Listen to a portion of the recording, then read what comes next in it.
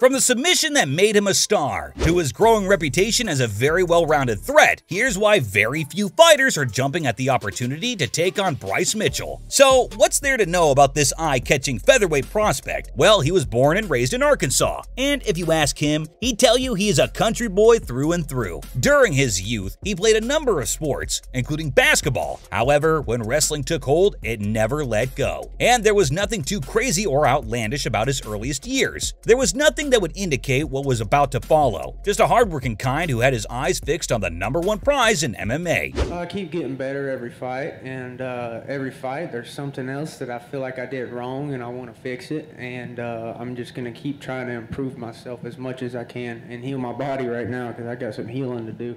To get his hand raised in a UFC championship bout and take home that coveted gold belt. But many prospects make their debut in the UFC every year. So, what are the steps in evaluating the best ones? What can you do to make those calls? Well, you've got to look at their core skill set. What do they bring to the table? And obviously, your first question after that is how they have been able to make it work, and more importantly, against who. You'd look at that level of competition and how it grew. You know, as as Mitchell forces Phillips to the cage. He's trying to put this fight where it's where, where he's most relative to the growth of the fighter himself. Then you'd look at how they handle adversity, how they adapt to it. And then there's the X factors, the special thing that makes the great ones truly great. Now look, it might be a little early to call Bryce Mitchell great, but if we can see it, you bet his opponents can too. And even after losing to Ilya Topuria, there's a reason why Mitchell is one of the most avoided men in the 145 pound division. But what is the case? Just clamps down on this head and arm choke and tremendous pressure.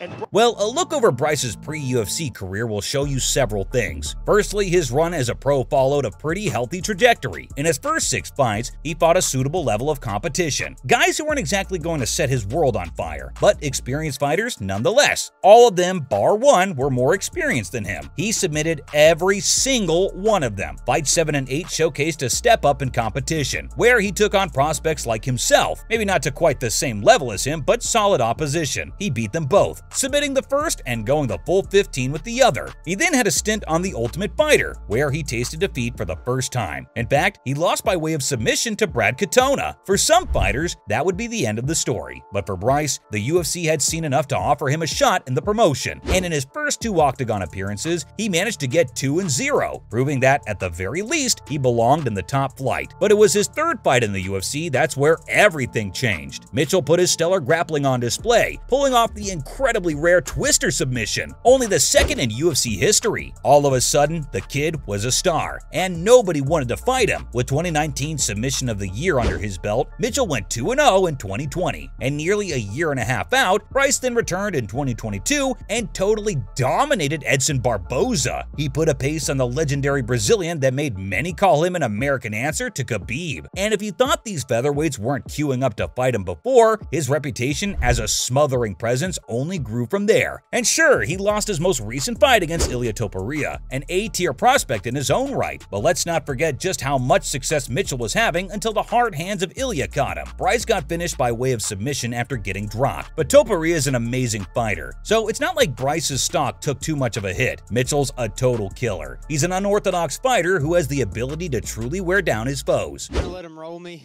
Uh, there was one time I let him roll me at the end because I was going for a sub with a minute left, but other than that, his escapes, he escaped, and uh, I don't want him escaping when I get him down. His knowledge of intricate wrestling and submission techniques is coupled with an ever-improving striking game. In fact, given just how many improvements we have seen in his stand-up, it's not out of the question to expect Mitchell's progress as a well-rounded fighter. Phillips immediately and now Brandon Phillips, he's in Bryce, he's in Mitchell. To reach another level entirely before he's 30, and that's the scary thing. The dude is already quite experienced. He's a veteran of 16 career bouts, 7 of them in the UFC. I love y'all to death. For 10 years, y'all have had my back, and I ain't done a damn thing for y'all.